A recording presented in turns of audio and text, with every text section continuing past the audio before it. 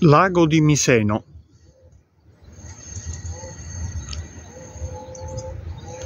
anche se ci troviamo nel comune di Bacoli.